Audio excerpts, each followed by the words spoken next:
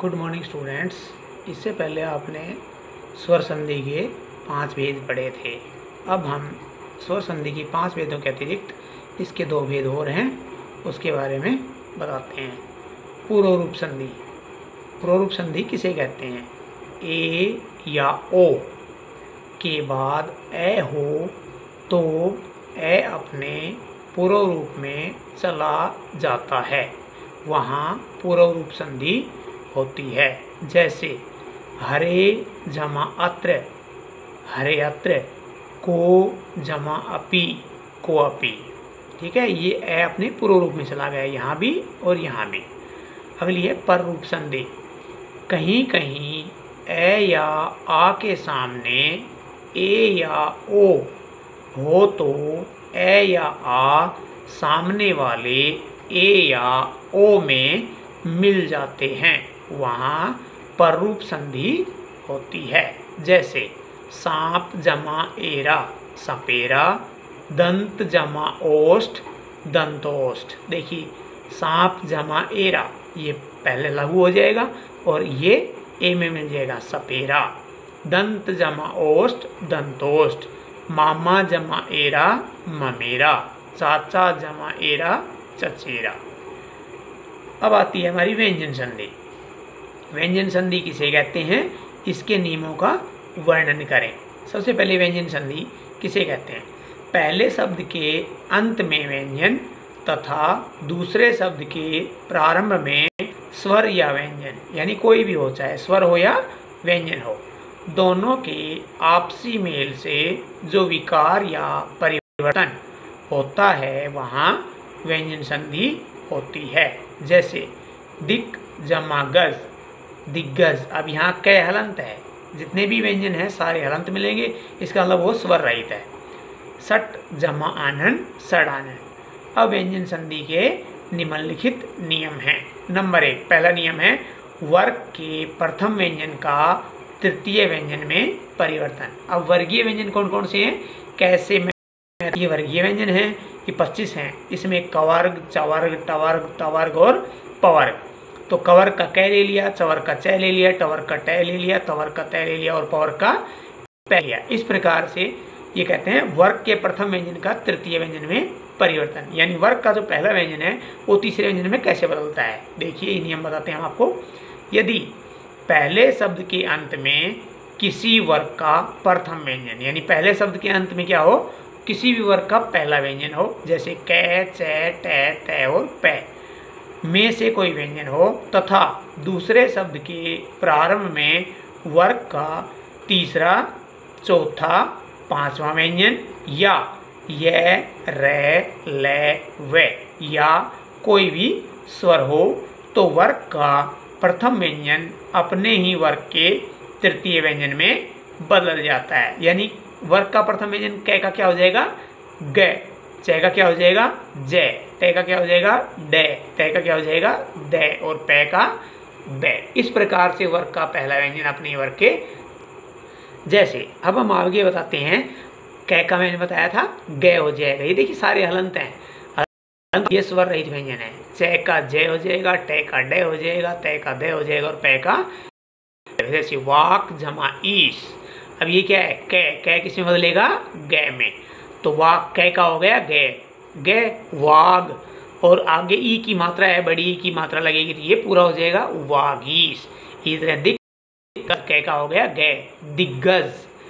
अच, जमा, अंत चय का हो जाएगा, जय। अब जय में ए मिलेगा तो ये पूरा हो जाएगा अजंत।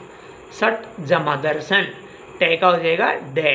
अब सड़, दर्शन, देखिए हमने इसको हलंत लगा दिया, क्यों? क्योंकि आगे क्या है हमारे पास? दय व्यंजन है, स्वर नहीं है, इसलिए ये डे, हलंती रहेगा। ठीक है? सत जमा आचार। अब तय का दय। दय में जब आ मिलेगा तो सदाचार। अप जमा धी। पै का बै अब यहाँ क्या है? व्यंजन है तो ये बन जाएगा अवधि जगत जमा अम्बा तय का दय जगदम्बा और उत जमा धार तय का दय, उद्धार। नियम नंबर दो। पहला, दूसरा नियम कहता है वर्ग के प्रथम व्यंजन के आगे, यानी सामने। पहले शब्द के अंत में वर्ग का प्रथम व्यंजन हो और दूसरे शब्द के प्रारंभ में न या मैं हो तो वर्ग का प्रथम व्यंजन अपने ही वर्ग के अंतिम व्यंजन में बदल जाता है। अंतिम व्यंजन यानी नासिक के व्यंजन में बदल जाएगा। जैसे कै का अडे खाली चे का चे, छे टे का टे, ठे डे ढे अणे ते का तै थे दे धे ने का मैं। इस तरह से अंतिम व्यंजन में बदल जाएगा। जैसे वाक जमा मैं ये। अब यहाँ क्या आ गया? मैं। तो कह का अड़े खाली हो जाएगा, ये शब्द बन जाएगा वाग, में। जगत जमानाथ तय का क्या होगा? न। शब्द बन जाएगा जगन्नाथ। चित जमा में ये, तय का क्या हो जाएगा? न। चिन्ह में। तत् जमा में ये, तय का क्या होगा? न। तन में। नियम नंबर तीन। तीसरा नियम कहता है तय दय संबंधी नियम, यानी तय का दय कब होता है? यदि तय के बाद लय हो तो तय का क्या हो जाएगा? लय हो जाएगा। यानी पहले शब्द के अंत में तय हो और दूसरे शब्द के प्रारंभ में लय हो तो तय का लय हो जाता है। जैसे उत जमा लेख तय है, आगे लय है, तय का लय हो जाएगा, उल्लेख। उत जमा लास, उल्लास। तत् जमा लीन तल्लीन नियम नंबर दो। तय दे के नियम चलेंगे अब। तय दे के बाद यदि जय या जय हो तो तय दे का जय हो जाएगा। यानी जय होगा तो भी जय जय होगा और जय होगा तो भी जय होगा।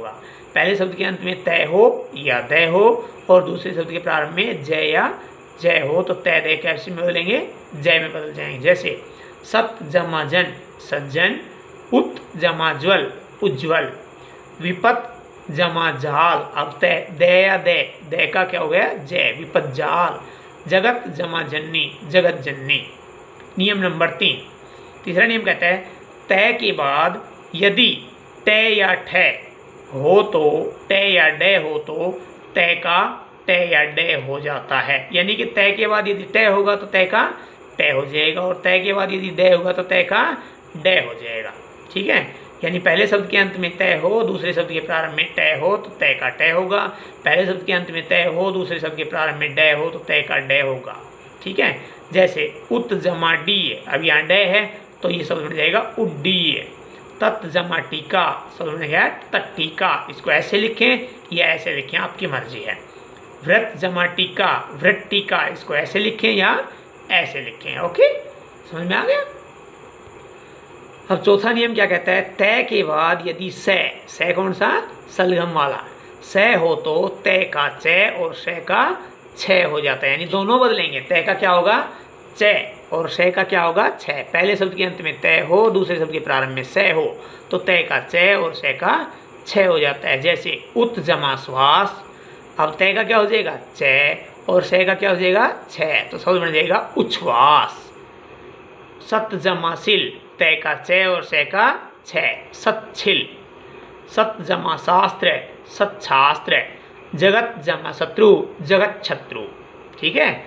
अगला नियम नंबर पाँच। तय के बाद यदि च या छ हो तो तय का च हो जाता है। यानी पहले शब्द के अंत में तय हो, दूसरे शब्द के प्रारंभ में च या छ हो तो तय का क्या हो जाएगा? चय हो जाएगा। जैसे उत जमा चारण उच्चारण सत जमा चित सचित जगत जमा छाया जगत छाया उत जमा चरित्र उच्चरित्र। नियम नंबर छ। तय के बाद यदि है हो तो तय का दय और है का धय हो जाता है। यानी पहले शब्द के अंत में क्या हो? तय हो और दूसरे शब्द के प्रारंभ में है हो। तो तय का क्या हो जाएगा? दय और है किसमें बदल जाएगा? धय में। जैसे, तत् जमा हति तत् जमादित, हित तद्दित, पत जमाहति पद्धति, उत जमाहार उद्दार नियम नंबर चार, छह संबंधी नियम। यानी छह वर्ण के व्यंजन के कैसे नियम चलते हैं? यदि पहले शब्द के अंत में कोई भी स्वर हो और दूसरे शब्द के प्रारंभ में छह व्यंजन हो तो संधि होते समय, यानी कि दोनों आपस में मेल होंगे तो उसको संधि कहते हैं। संधि होते समय छह से पहले क्या हो जाता है?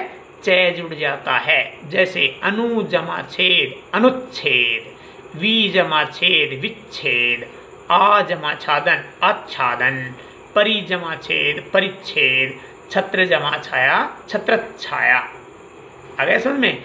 अगला नियम है हमारा मैं संबंधी नियम। ये क्या कहता है?